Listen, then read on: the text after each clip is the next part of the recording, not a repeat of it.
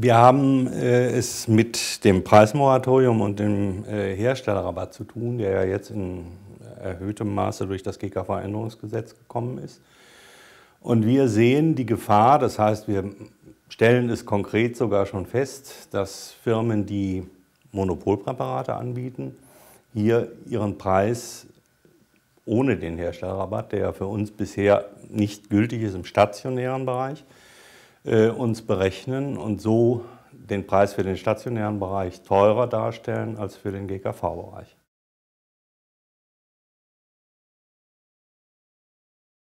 Also wir sind nach wie vor durchaus interessiert an einer freien Preisbildung in der Klinik. Nicht, dass da ein falscher Eindruck entsteht. Aber wir haben hier im Prinzip keine Möglichkeit mehr auf dem Verhandlungswege aus den vorhin genannten Gründen, sprich also relativ monopolistische Struktur der Hersteller in diesem Bereich, hier äh, auf dem Verhandlungswege bessere Preise zu erzielen. Und deswegen sehen wir hier einen, einen zumindest teilregulativen Aspekt als Notwendigkeit.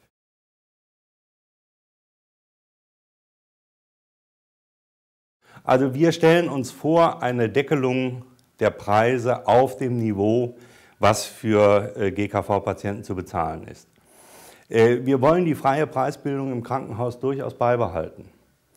Aber wir haben hier es zum ersten Mal mit einer Situation zu tun, dass eben tatsächlich höhere Preise als im GKV-Bereich entstehen können, was früher eigentlich gar nicht möglich war, weil es da auch diese regulativen Eingriffe nicht gab in die Preisbildung.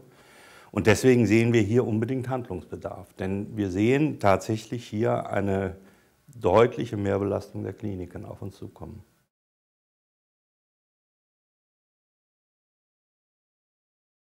Also die Herstellung von Sterilrezepturen in öffentlichen Apotheken findet statt an einigen Stellen, nämlich bei den Apotheken, die entsprechend ausgestattet sind. Das ist durchaus eine nennenswerte Zahl. Aber es ist bei weitem nicht in dem Umfang der Fall, wie eine Nachfrage von Patienten nach sterilen Rezepturen wenn wir es mal auf diesen Terminus vereinfachen wollen, äh, besteht. Und wir sehen aus unserer täglichen Praxis, dass die Nachfrage nach äh, der Hilfe bei der Rezepturherstellung an Krankenhausapotheken wie auch an öffentliche Apotheken da ist.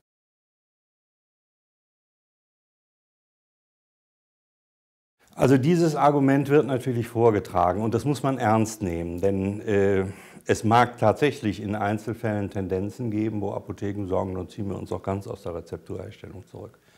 Das kann sicher nicht Sinn der Sache sein, denn die Apotheke, so wie ich sie kennengelernt habe in vielen Jahren und wie ich sie auch immer noch verstehe, ist schon die Stelle, wo Arzneimittel in jeder Form zunächst mal behandelt werden. Sie werden gehandelt, sie werden aber auch hergestellt. Nur es gibt Rezepturen, die erfordern ein besonderes Know-how, die erfordern besondere technische Ausstattung. Und das kann man nun nicht von jeder Apotheke verlangen.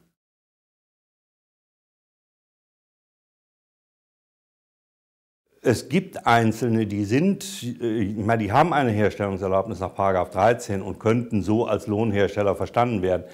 Äh, das ist aber sicher nicht unser Ziel. Nein, es geht hier wirklich darum, äh, dass wir den Patienten helfen wollen, die sonst umherirren, bis sie eine entsprechende Apotheke finden würden, die dazu technisch in der Lage ist. So könnte jede Apotheke hingehen und sagen, hier bitte du Nachbarapotheke oder du Krankenhausapotheke, mach mir diese Rezeptur, ich bezahle dir was dafür und äh, der Patient hat dann eben sein Medikament und darum geht es.